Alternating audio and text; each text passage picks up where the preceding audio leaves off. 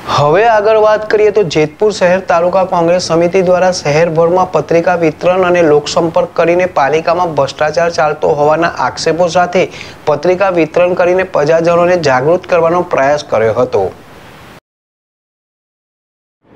જેતપુર તાલુકા કોંગ્રેસ સમિતિ દ્વારા આજે રાજકોટ જિલ્લા પ્રમુખની આગેવાનીમાં જેતપુર શહેરના મુખ્ય માર્ગો ઉપરના લારી ગલ્લાવાળા દુકાનોના વેપારીઓ અને શહેરના અલગ અલગ વિસ્તારોમાં ભ્રષ્ટાચાર ચાલતો હોવાની કોંગ્રેસ દ્વારા પત્રિકા વિતરણ સાથે લોકસંપર્ક કરવામાં આવ્યો હતો. સાથે જ ગુજરાત કોંગ્રેસ પાર્ટીની સૂચના અનુસાર લોકોમાં જાગૃતિ સાથે લોકસંપર્કનો કાર્યક્રમ રાજકોટ જિલ્લાના જેતપુર શહેરમાંથી શરૂઆત કરી હતી.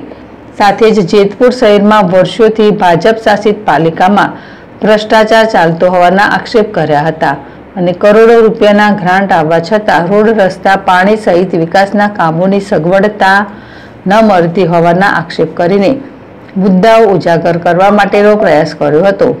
સાથે જ આવતી નગરપાલિકાના ચૂંટણીમાં પણ આ મુદ્દાઓને લઈને કોંગ્રેસ પાર્ટી લડાઈ કરશે તેવું કોંગ્રેસના રાજકોટ જિલ્લા પ્રમુખ લલિત વસોવાએ કહ્યું હતું.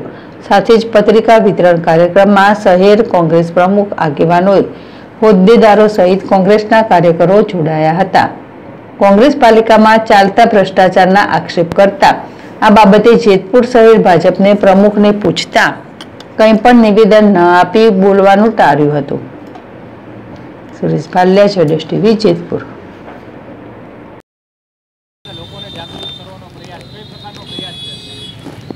સમગ્ર ગુજરાતની અંદર ગુજરાત પ્રદેશ કોંગ્રેસ પાર્ટીના સૂચના અનુસાર સમગ્ર વિસ્તારની અંદર લોકોમાં જાગૃતિ આવે એના અનુસંધાને પત્રિકા વિતરણ અને લોકસંપર્કનો કાર્યક્રમની શુભ શરૂઆત રાજકોટ જિલ્લામાં આજે જેતપુર શહેરમાંથી અમે કરી રહ્યા છીએ.